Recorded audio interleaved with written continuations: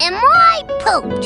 So, I guess you and Emily Elizabeth spent the whole afternoon playing with the sock spider again. Gosh, Daffodil, you should have played. I had so much fun. Well, good for you.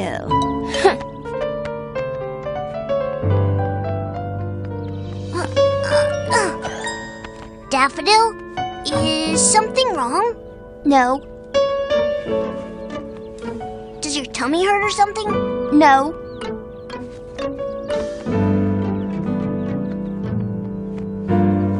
Mm, do you need a nap? I will in a minute, since you're wearing me out. Oh, sorry.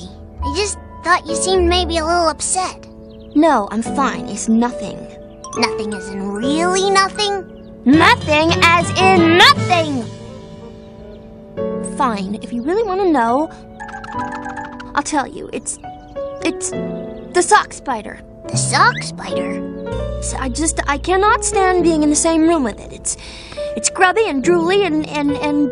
Well, it's not even a real toy, is it? It's not? It's just. It's just a bunch of stinky old socks!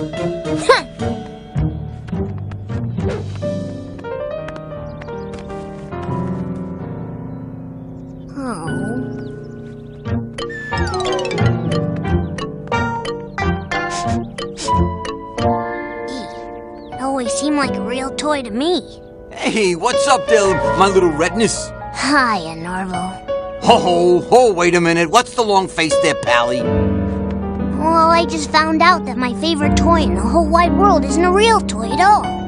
You mean? Uh huh, the sock spider. Holy tamale! I'm glad I got here when I did, because this is serious.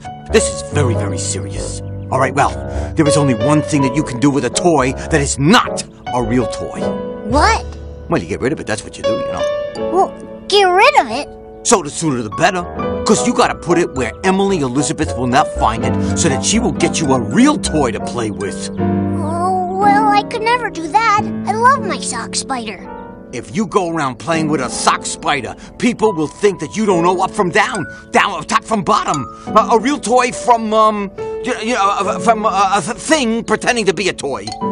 Well, if you really think so, Norville. Do I think so? I do, I do, I do. Now believe me, Little Red, this is for your own good. Well, I'm off. Have a good time there, Clifford. Yeah. Bye, Norville. Well, for once, that bird is actually talking sense. You think I should hide the sock spider too? I think you should have hidden it weeks ago.